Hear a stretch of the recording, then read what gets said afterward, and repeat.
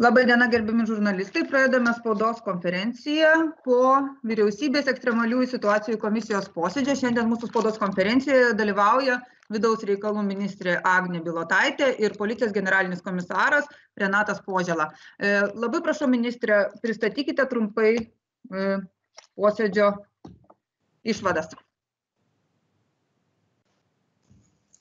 Ačiū labai. Labą dieną visiems. Šiandieną vyriausybės ekstremalių negirdime ministrė jūsų Labą dieną, ar girdite dabar? girdime ne Ne, negirdite, nes pas mane rodo, kad viskas gerai. vis dar Na, ką negirdim mes gal tuomet e, pabandykime iš naujo Mes prisijungti girdime, su jum žurnalistai girdi. Visi Gerai girdime. mes girdime tikrai. Puikiai. puiku, tada galiu tęsti. Tai, sveiki dar kartą. Šiandieną turėjome vyriausybės ekstremalių situacijų komisijos posėdį, posėdį, kuriame buvo aptarti du klausimai. Pirmas klausimas e, dėl COVID-19 epidemiologinės situacijos buvo patikta apžvalga, kurią pristatė Sveikatos apsaugos ministerija, bei taip pat buvo svarstyti siūlymai a, dėl COVID-19 valdymo priemonių. Tai a, apibendrinant šiandieną mūsų sprendimus, e, e, išklausę Sveikatos apsaugos ministerijos e, informaciją, na, supratome, kad e, šiuo metu galbūt vertinti priemonių poveikį yra anksti, kadangi dar yra sudėtinga prognozuoti, nes informacija nėra tiksli. E, Tikslesnės prognozijas bus galimos e, sausio pradžioje, kai jau bus e, aiškiau dėl pačių ir um, susirgymų skaičiaus, tendencijų ir tos aiškios koreliacijos tarp susirgymų ir taikomų priemonių. Todėl įvertinus tai ir įvertinus taip pat informaciją apie žmonių mobilumą, buvo pateikta informacija, kad mobilumas žmonių yra tikrai am, ženkliai sumažėjęs, kas iš tikrųjų džiugina, kad priemonės e, ribojimai veikia ir žmonės a, lieka namuose, mažiau, mažiau yra mobilus. E, Priėmėm sprendimą palikti dabar esančią tvarką, tai yra a, tą tvarką, kuri yra numatyta vyriausybės nutarime. O dėl tolesnių kažkokių tai veiksmų na, spręsti jau po, po švenčių, e, tai yra sausio pradžioje, kai jau bus galima aiškiai na, vertinti a, tą informaciją apie susirgymus ir, ir jų koreliaciją su mūsų, mūsų taikomomis priemonėmis. E, Taip pat e, buvo iške- iškeltas klausimas dėl iššūkių, kurie atsiranda viešose vietose. Ta klausimą iškėlė policijos departamentas, kad ypatingai šventinių laikotarpių, kai yra na, savaitgalis, šventinis laikotarpis, žmonės e, aktyviai renkasi tam tikrose viešose vietose, būriuojasi dideliais kiekiais ir taip sudaro didelės rizikas, todėl buvo nuspręsta kreiptis į, į savivaldybės, prašant, kad jie imtųsi kartu, galbūt bendradarbiaujant su policijos departamentu, tam tikrų priemonių, kad būtų užkirstas tas galimas būriavimasis viešose vietose. Tai tikimės, kad e, būsime išgirsti ir, ir dabartiniam tame šventiniam laikotarpiu, kuris mūsų laukia, mes e, tikrai galėsime na, elgtis atsakingai. Tai e, tokie šiandieną sprendimai, galbūt kažko tokio konkretaus ir, ir susiję, susijusio su pokyčiais nėra, nes, kaip ir sakėm, kad dar galbūt yra ankstoko. Tai dabar galbūt atsakyčiau klausimus. Ačiū ministre. Gal dabar dar policijos generalinis komisaras keliais žodžiais apie situaciją šį savaitgalį ir tuomet jau leisime žurnalistam klausti.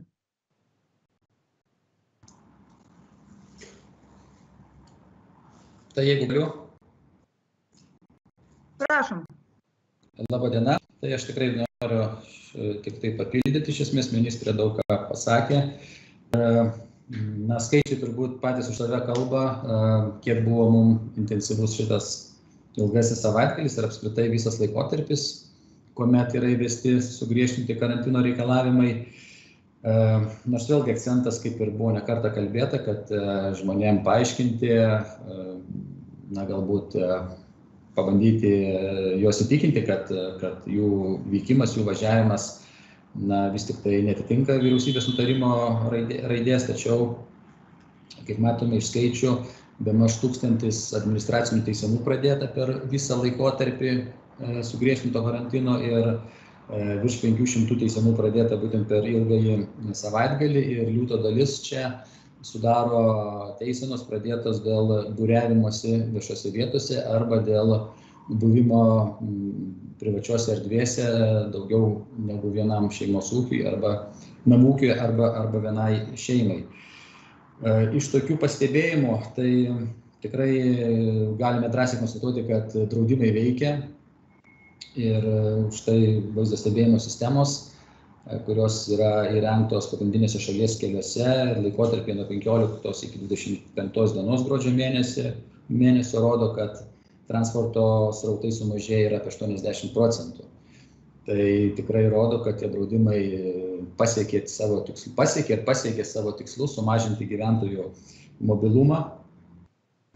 E, na, kas galbūt neramino ir ką pastebėjome ir į ką tikrai pakartotinai atkreipsime dėmesį e, per naujametinį laikotarpį, tai yra e, žmonių būriavimasis viešose vietose, būtent e, tose vietose, kurios pritaikytos e, poilsiui, rekreacijai, tai parkai, paplūdimiai ir tikrai e, matydami ir kad draudimai, sakykime, draudžia žmonėms išvykti į kitą savivaldybę, jie ieškosi poilsiui, aktyviam poilsiui na, viešųjų erdvių ir paprastai tas viešas erdves, na, sakykime, vienu metu suplūsta pakankamai nemažai žmonių ir tikrai e, matome, kad e, asmenys ir be kaukių būna, ir netaisyklingai kaukės dėvė, ir būriuojasi.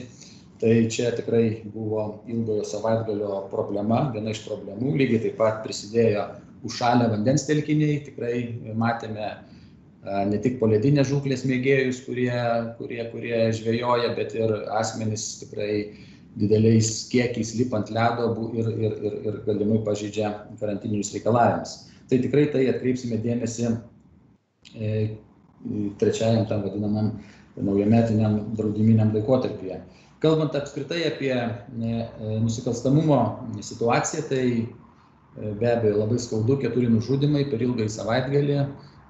Dėl visų atvejų vyksta ikiteisminiai tyrimai ir atsakymai bus tikrai anksčiau ir vėliau duoti. Tačiau dabar jau galima matyti, kad iš esmės visi nužudimai yra siejami su įvykusiais konfliktais E, privačioje erdvėje arba artimoje aplinkoje. Na, kad draudimai e, suveikė, e, tai rodo ir kiti skaičiai, sakykime, neblaivus vairuotojai, štai per šį ilgąjį laikotarpį buvo sulaikyti, sulaikyta 151 vairuotojas, kuris vairavo transporto priemonę esant neblaiviam.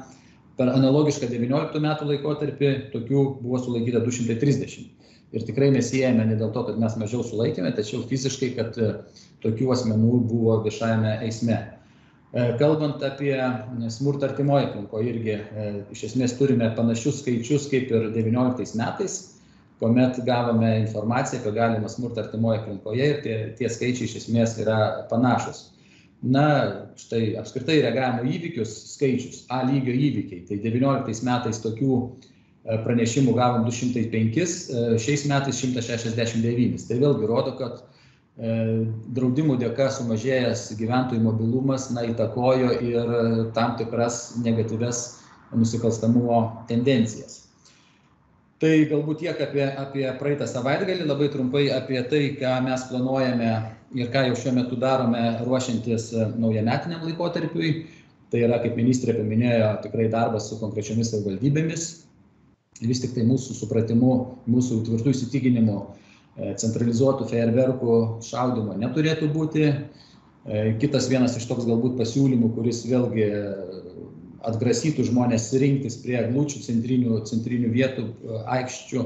Tai yra galbūt per tą patį naujame, naujų metų sutikimą, kad na, tiesiog fiziškai eglutės būtų užgesintos, jos nešviestų ir, ir, ir, ir, ir nekviestų tokiu būdu vėlgi rinktis prie eglučių.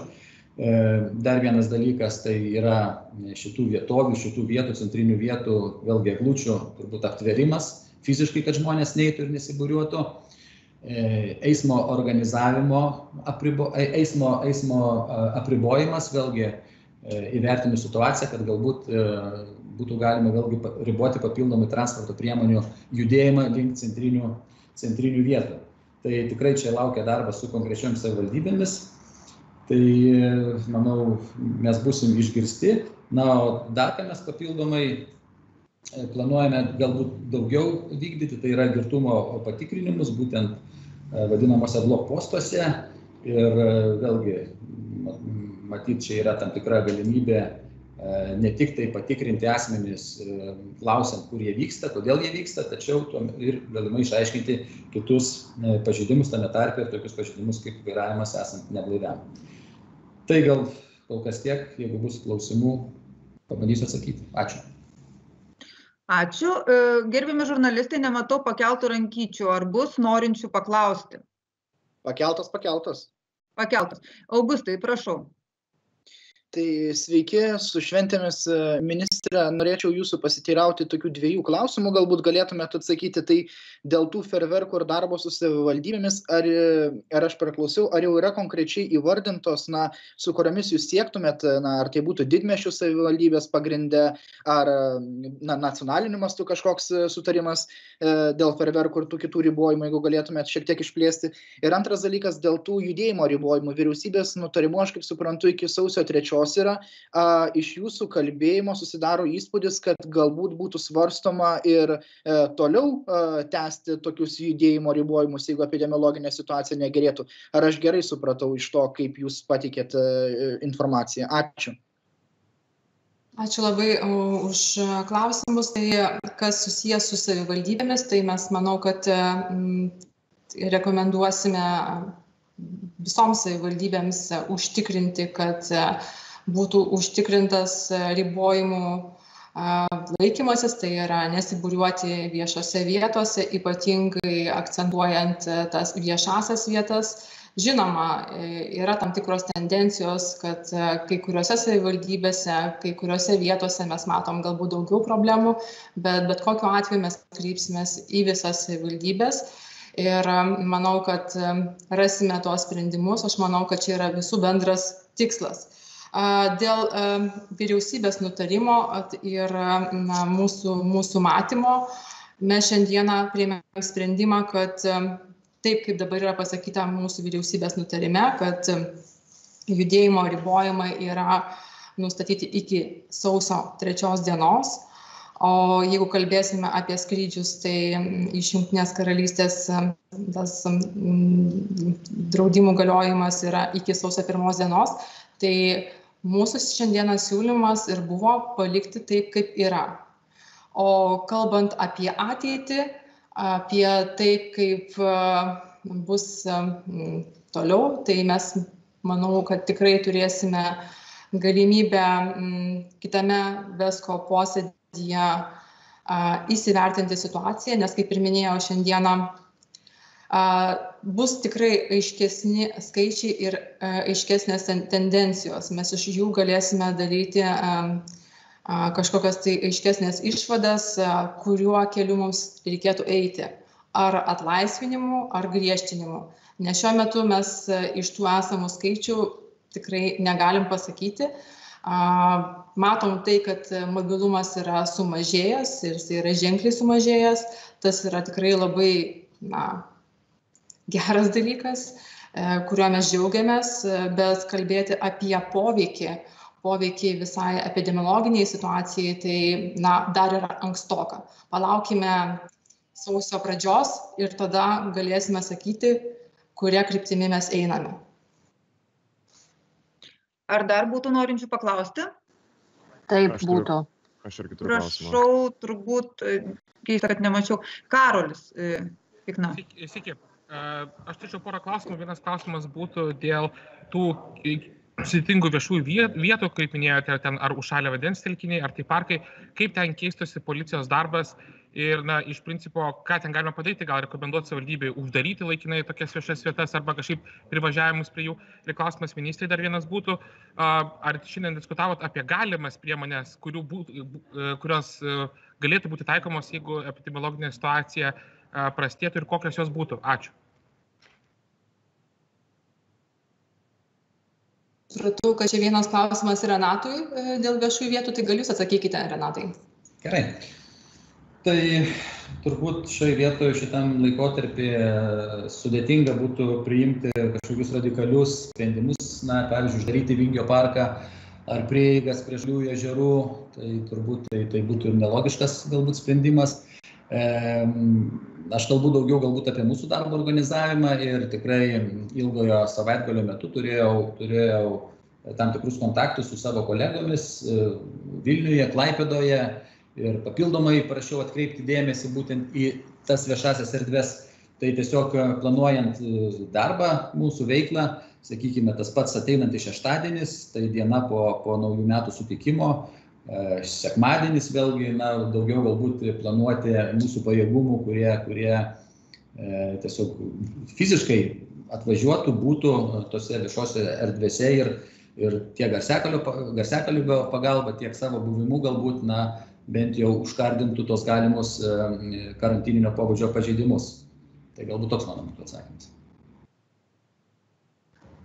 Mano, mano atsakymas dėl a, pačių priemonių, kurios galėtų būti na, taikomas e, e, vėlesnėme laikotarpyje, tai e, žinoma, viskas priklausys nuo situacijos, bet kad mes esame pasirengę, tai taip. Bet galbūt čia norėčiau paminėti situaciją dėl skrydžių ribojimo. Tai buvo šiandieną aiškiai apsvarstyta ir nuspręsta, kad priimant sprendimus vertinsime mūsų kaiminių šalių ir visos ES na, praktikas ir sprendimus ir pagal tai atsižvelgdami mes priimsime vienokius ar kitokius sprendimus. Kas susijęs su judėjimo ribojimais, matyt, priklausys nuo pačios epidemiologinės situacijos. Jeigu ji blogės, matyt, gali tekti svarstyti apie na, sekančių etapų na, įvedimą. Tai, bet viskas, kaip ir sakau, priklausys nuo to, ką rodys skaičiai sausio pradžioje. Ačiū ministre. Žygintas Abromaitis. Sveiki, klausimas Renatui Požalai.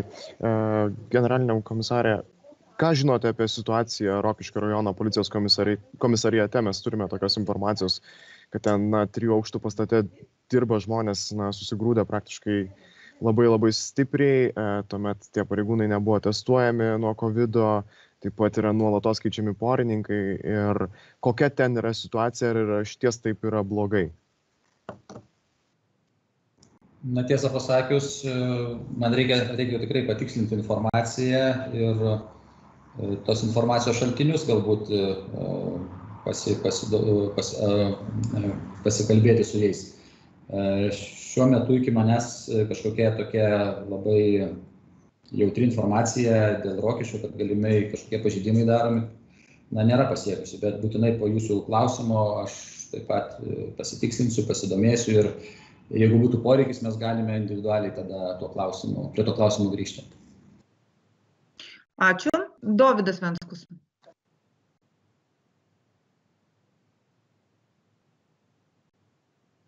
Dovydai, jūs keliate ranką, ar čia liko iš anksčiau? Negirdim jūsų.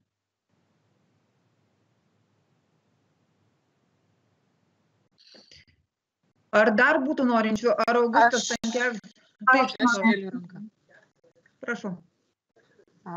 Ministrė, noriu jūsų paklausti, kaip jūs vertinate tą faktą, kad panausėdas prieš šventes iš Vokietijos grįžo dukra?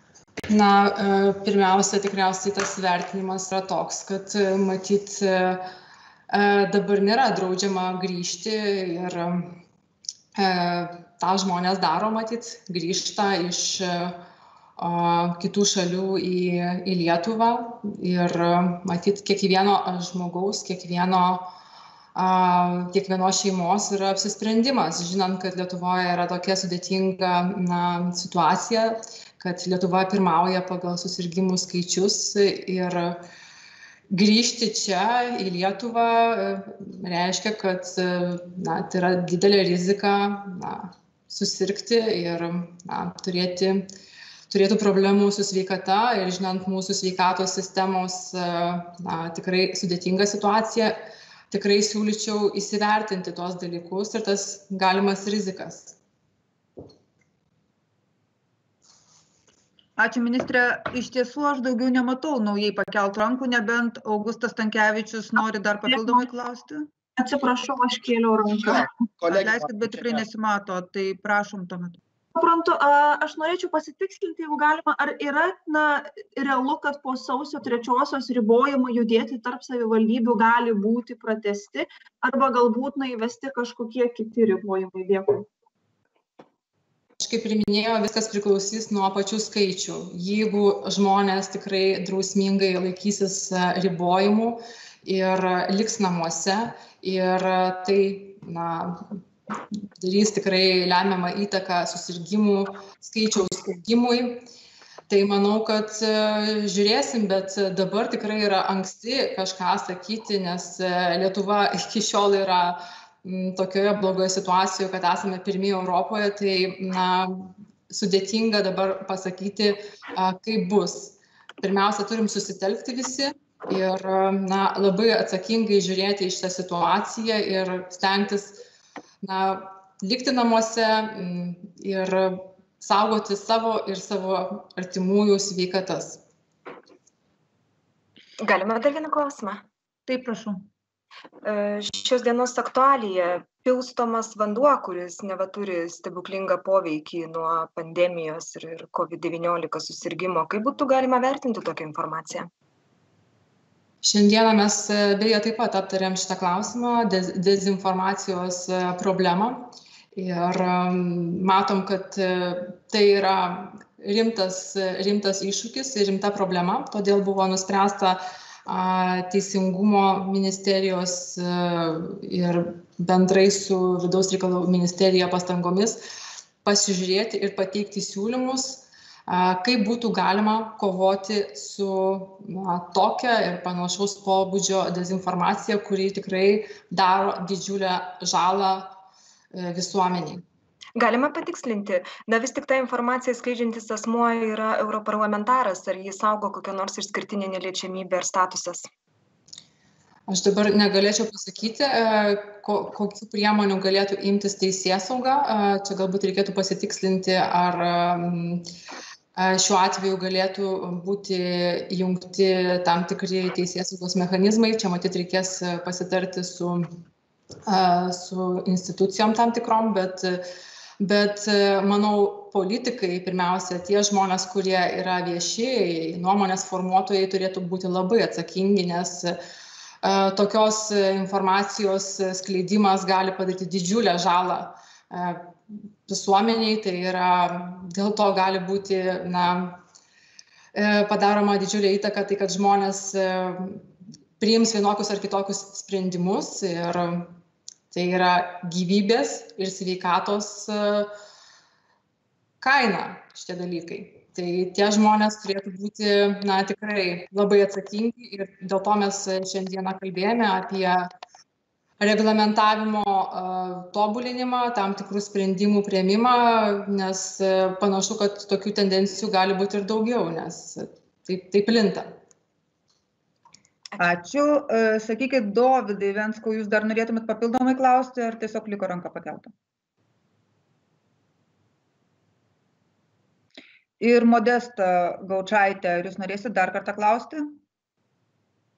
Atsiprašau, ne, rankos tik nenuleidau. Gerai, tuomet labai ačiū visiems, ačiū ministrijai, ačiū policijos generaliniam komisarui ir gražios mums visiems dienos. Ačiū, sėkmės jums. Ačiū, būkite sveiki.